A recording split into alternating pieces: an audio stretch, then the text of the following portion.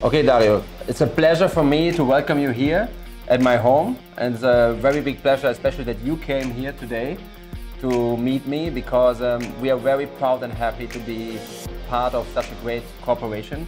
Well, I'm here to give you something. I have a surprise for you. But uh, also would like to tell you why we are doing this because my company, Philipp Plein, we are now based in Lugano since a couple of years. Mm -hmm. And we're very happy. We have uh, more than 100 people working in our company, coming to work every day to Lugano. And uh, most of them, they are fan of uh, the hockey club in Lugano. They love ice hockey, they love sports. And um, yeah, this is why we wanted to get engaged into a cooperation related to the Hockey Club Lugano. Mm -hmm. Sounds great. Sounds great. I see you have something for us. Yes, we have a big surprise, okay, for the team and for the players especially.